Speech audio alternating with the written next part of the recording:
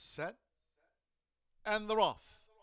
Barrio broke sharp, along with toward the inside. Hard Truth wins with an early bid, and right there in between horses as they go up the back is a passion for justice.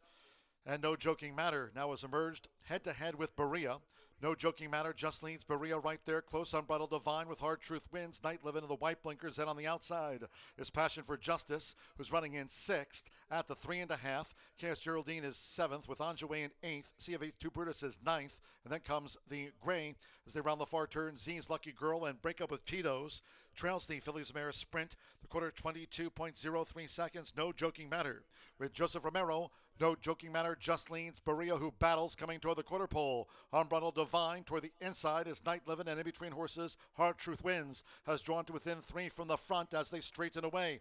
Half mile 45.66 seconds. It's Berea. Berea and Alberto Burgos bounding down toward the final furlong. Put away no joking matter who's dropped back. Hard Truth wins charging Unbridled Divine. Night Living has no joking matter has gone unplaced. They're close to home. It's Berea. Berea near home. Hard Truth wins on the outside.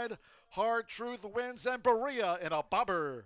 Unbridled Divine was third, Night Living fourth, and CFE 2 Brutus and Donjaway. Hard Truth wins, dived at the line with Berea in a photo finish.